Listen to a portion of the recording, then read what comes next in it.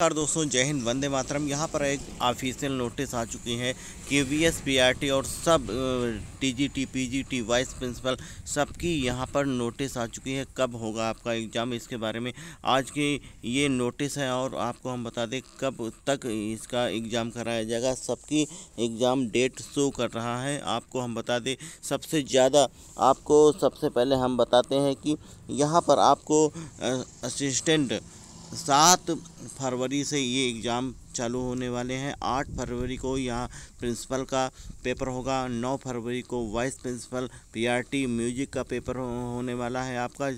और उसके बाद टीजीटी, बारह से चौदह फरवरी को पेपर होने वाला है। इसके बाद पीजीटी के पेपर सोलह से बीस फरवरी तक, यानी कि पाँच दिन आपके पेपर होने वाले हैं पीजीटी के।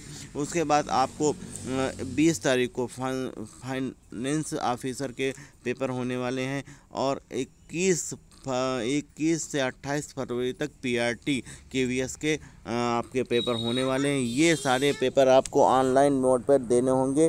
दोस्तों, आप लोग यहाँ से देख लीजिए पीआरटी यहाँ पर पी आर टी से इक्कीस से अट्ठाईस फरवरी यानी कि सात आठ दिन में आपके पेपर कंप्लीट करा लिए जाएँगे और ये पेपर कंप्यूटर बेस्ड होंगे यानी कि सी बी टी मोड पर होने वाले हैं आपके।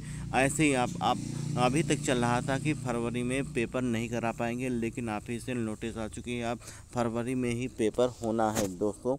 वीडियो अच्छा लगा तो लाइक और शेयर ज़रूर करने का, करिएगा और चैनल को सब्सक्राइब ज़रूर करिए। जय हिंद, जय भारत।